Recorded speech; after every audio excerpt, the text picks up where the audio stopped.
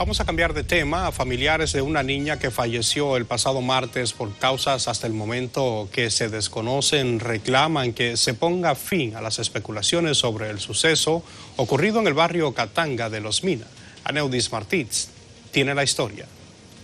Se trata de la niña solo identificada como Brittany, quien según explica un pariente se encontraba en perfecto estado de salud el día en que falleció.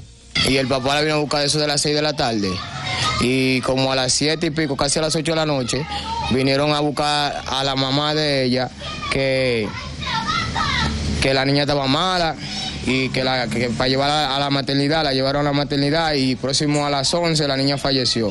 Muchos rumores corren en la comunidad en torno a la muerte de la infante de solo tres años de edad. El equipo de CDN intentó contactar al padre y la madre de la menor, pero no fue posible. Él lo que dijo que la niña como que se le cayó, ¿tú me entiendes? Y como que tenía una mala digestión. Esa pobre niña de, que, de tres años, de que le dio un juguito de vaina de que, para que se muera, no sé. Sabrán ellos qué, qué van a hacer. Lo que no creo que alguien se preste para cegarle la vida a una niña de tres años. Según una fuente, la policía ha interrogado a varias personas con relación al hecho.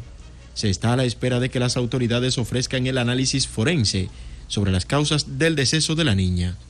Aneudis Martich, CDN.